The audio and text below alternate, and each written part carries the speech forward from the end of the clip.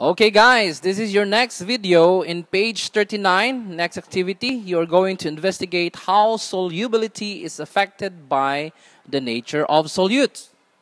So here, you are going to use salt, potassium nitrate, and glucose instead of jelly crystals. So the first thing, first things first, you have 50 cm or 50 ml of water in three beakers. Okay, each beaker contains 50 ml of water.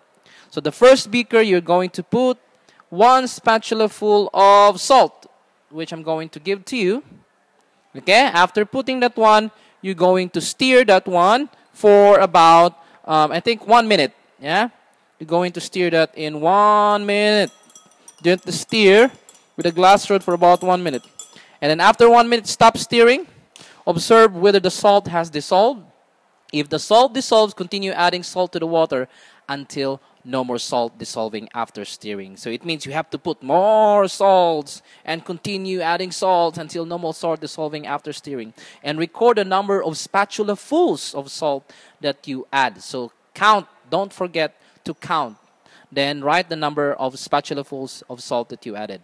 So repeat step 1 to 5 using now potassium nitrate and glucose. Okay, so I will give you glucose and I will also give you potassium nitrate. So the same step, okay?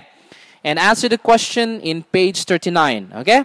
Please don't forget to count how many spatula full of salt or how many spatula full of potassium nitrate or how many spatula full of glucose that you added. Okay guys, good luck and see you in the lab.